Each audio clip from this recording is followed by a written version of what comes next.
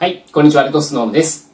今回なんですけれども、工作物責任民法717条について解説いたします。で、まず条文なんですけども、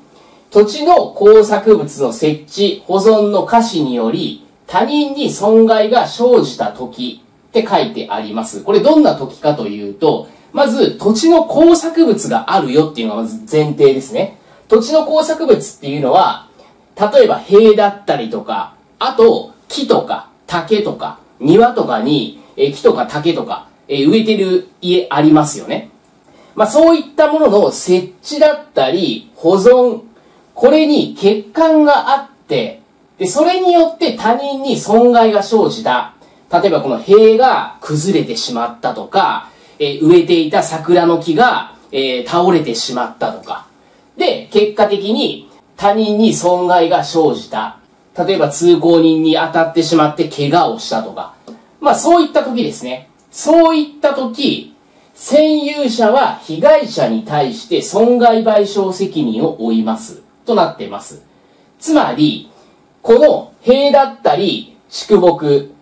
竹だったりとか、樹木とかですよね。まあそういったものを占有している人は、被害者に対して損害賠償責任を負いますよ。この占有者っていうのは、まあ実際に占有している人なので、もしかしたら所有者かもしれません。また、え賃借人かもしれません。どちらかわからないんですけども、とりあえず占有している人がまず責任を負わなければいけない。これ原則です。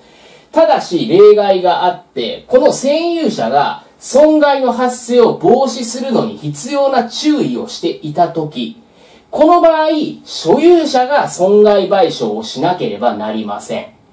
つまり占有者が損害が発生しないように注意をしていた。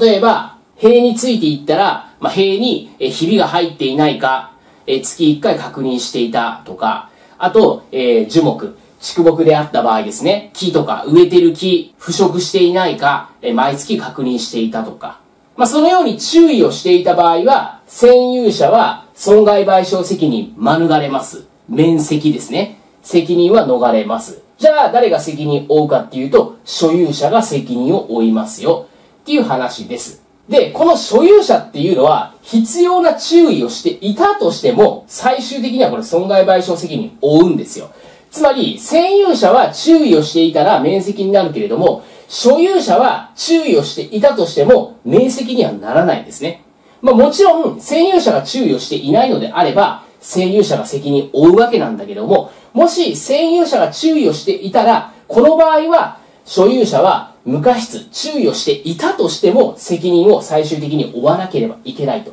いうふうな内容となっております。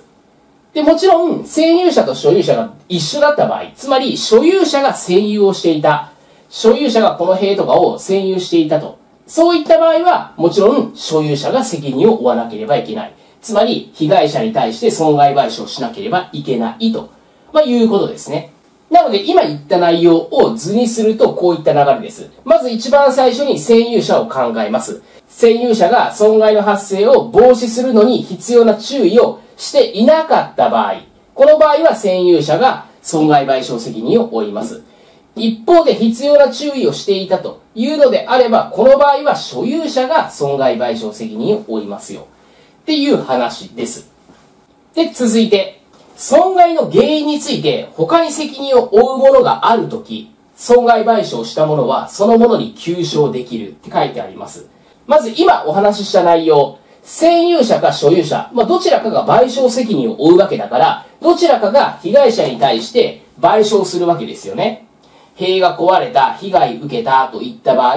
占有者もしくは所有者が損害賠償します。